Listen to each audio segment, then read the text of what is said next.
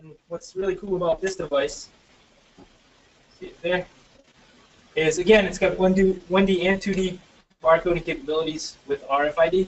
Um, it's got Bluetooth capability. So I'm turning on my device here. Actually, first, first I'll attach my smartphone. That's what really makes it cool. Um, this is great because of um, you know companies who have employees who have one phone for personal use and business use. They can reuse the devices, cost of the solution down. Um, so most companies also have company-issued devices, um, which you can have put to casing like this here. This casing cost me about $14.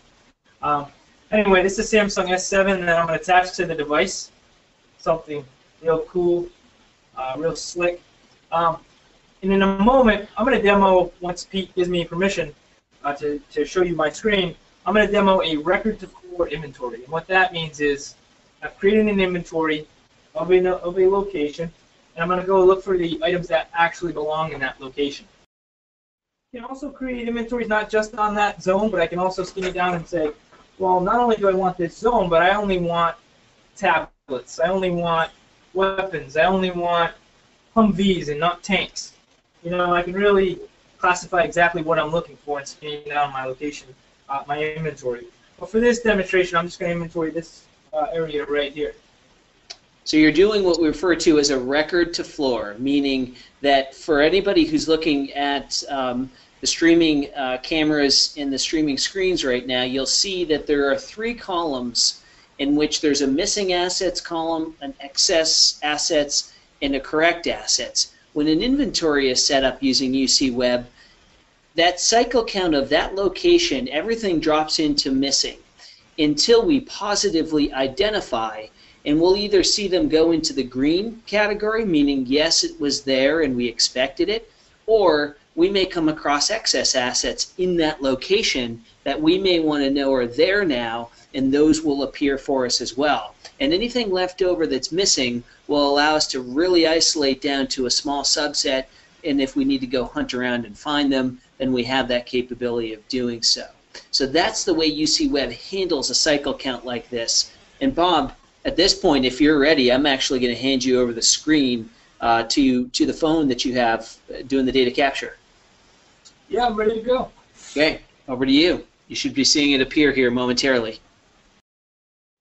So I just want to mention the ergonomics of this device. When you walk around, I mean, this thing was like created to just fit right in your hand. Uh, this device also as well. I've worked with these devices for five years here at AW Tracking and market data capture projects all around the world. They have a real true purpose, especially when using offline data capture installed from uh, Google Play or the Apple Store. Um, this this is actually UC Web because UC Web is a software-based uh, a SaaS offered uh, software in the cloud. I'm accessing it and tapping into it right here from my mobile phone. Um, however, we've optimized it to recognize smartphones and tablets to give you a different experience based on your screen type. So we're going to be demoing uh, the inventory feature in this uh, in this piece of software here. Um, so I'm going to choose my inventory. You know, again, this interface uh, we've we've revealed some of the most critical aspects of UC Web on this device. Um, so again, here's the inventory. I'm going to choose my inventory there. And now I'm brought to my scan screen. So now I'm ready to actually do my inventory. Uh, as it mentions here, it says you can scan an asset, a UID, or an RFID tag associated to an asset. So again, you can inventory 1D barcoded items, 2D, or 2D UID, uh, and now RFID for all our UC Web users out there who are just used to using the barcoding capability, going up to one asset one at a time, which can really, again, so time consuming. There's safety involved, climbing ladders, and you know, this is the solution. I'm going to stand right here. I'm going to pull the trigger on this device. And I'm actually going to capture some of what I'm looking for and also excess inventory for demonstration purposes, you what that's like as well.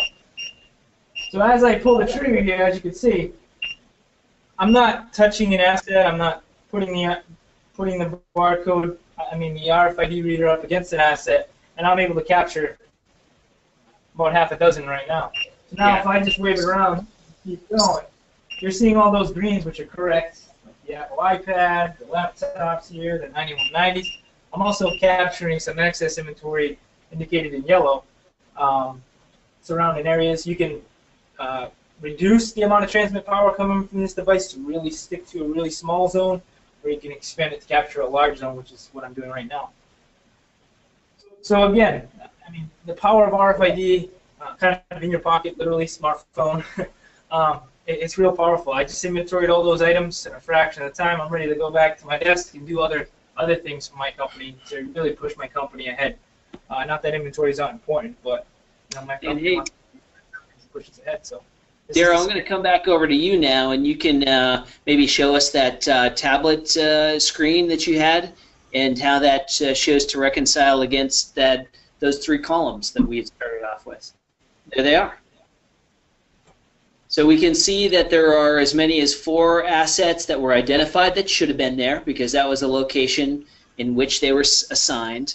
The Dell laptop, a couple MC9190s, and an iPad we found three assets that we that somehow arrived at that location that we didn't expect there or that the records didn't show were supposed to be there and then we also have four items uh, a samsung tablet an rca tablet a laptop and an example asset uh, that we now need to go hunt down.